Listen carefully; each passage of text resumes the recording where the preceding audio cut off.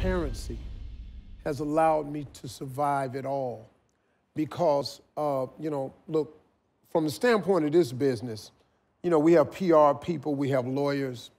You know, they, they don't want you to be so transparent. You know, look, you've got a brand that we're trying to create, and this brand is this way. well, that's great, but I just got to be this way. The journey was completely different. And what has kept me relevant and on stage all of these years is that I have been transparent with people. Yeah. I've allowed them to see uh, my flaws. I've been upfront about my faults. It's kind of hard anyway because my flaws have a microphone and a spotlight and a camera attached to them. You know. Everybody, millions know immediately your flaws. Right. I don't get to work it out in the no, comfort of my home. No back room there. No, man. We we we're in the front, so you yeah. you got a light on you. It's it's glaring too, and uh, so I've I've been real upfront about that. Uh, see, and and the reason I've chosen to be transparent is because it's easier for, the, for me to tell you how to win if you know I lost.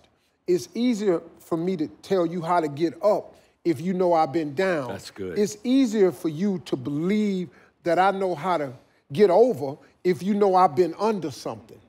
But see, if you if I don't expose this to you, I'm just this well-off guy talking to you. Yeah. You know, it's like, and it's so, it's so, it's so hard for people to relate to that. And then, you know, I, have I've, I've reinvented myself. I've morphed in the person that you see today, which gives people inspiration and hope that it can happen for them. Yeah, yeah. We keep talking about this, but there's certain ways people got to look at, you know, like, you know, and, and, and you got to be willing to accept the morph, the change, because change is inevitable. Yeah. Uh, two things are going to happen in change. You can react to the change, yeah. or you can participate in the change. You get to pick. I choose to participate in the change. I know that I won't be on TV forever. So I'm preparing for that day. Sure. You know, I know that eventually, like television is changing now. What we're doing right now is not for TV. That's it's exactly for digital. Right. That's right. Because that's the world it's going into. Now, if we want to say this program for TV, yeah, somebody will watch it, but maybe 1.2 million people might. In cyberspace, there's no telling how many people get That's exactly right. You know, and so be, being there, it's almost like people, you ever, you ever see people who never want to change?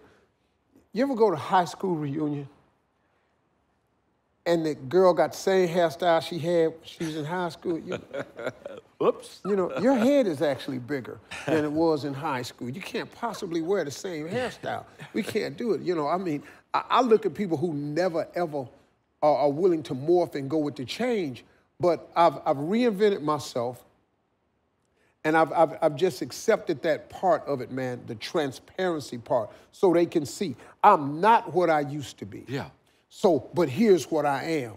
And if you like what you see, this is how I got here. But I want to tell you the story of how I got here. Yeah.